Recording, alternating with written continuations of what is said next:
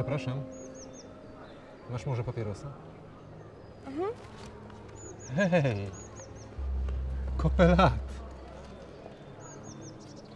Słucham? To kopę lat minęło od czasu, jak się ostatni raz widzieliśmy.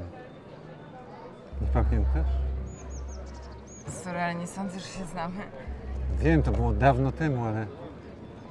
Ale znamy się.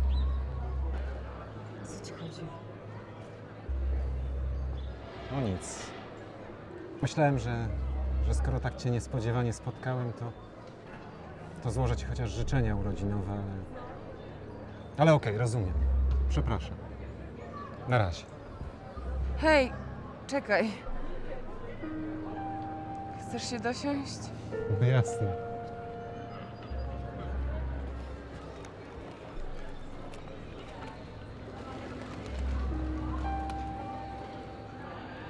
Przepraszam, możesz wziąć pierwsze? To taki przesąd. Ostatni łyk, ostatni kęs, ostatni papieros. Mam tak od dziecka. Wiem, że to głupie. Proszę. Nie, to ciekawe. Jasne. Dzięki. Przepraszam, muszę już iść. Ej, ale nawet nie powiedziałeś mi, gdzie się poznaliśmy, ani imienia, ani...